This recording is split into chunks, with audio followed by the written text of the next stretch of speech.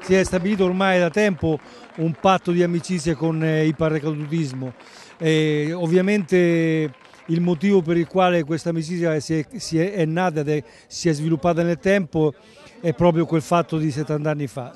E le commemorazioni eh, port devono portare anche a creare l'amicizia fra le persone e, perché proprio questo è lo scopo e, il sacrificio che hanno fatto i nostri diciamo, eroi paracadutisti. Eh, anche se ho una certa età non ho, non ho vissuto la guerra e quindi dobbiamo essere veramente grati a, quelle persone che purtroppo hanno perso anche la vita per, per questi valori che hanno fondato la nostra Repubblica nella libertà democratica. Io ringrazio anche le condizioni meteo che ci hanno consentito di fare una bella giornata.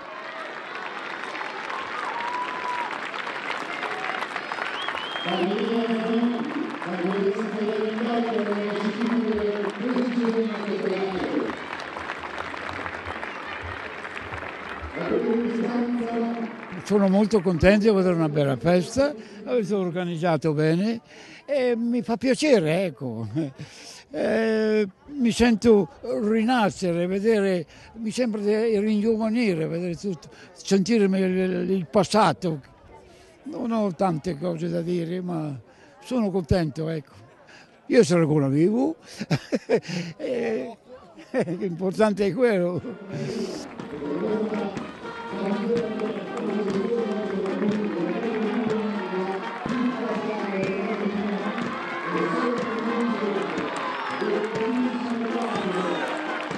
Sulla terra, nel cielo, ma soprattutto nei cuori nei cuori di tutti i poggesi, nei cuori delle migliaia di persone che da tutta Italia sono venute qui ad onorare una grandissima storia, la storia dell'operazione Herring, la storia di 226 ragazzi che hanno dato subito la loro risposta, il loro sì a questa missione per essere partecipi della campagna di liberazione, della liberazione della loro terra.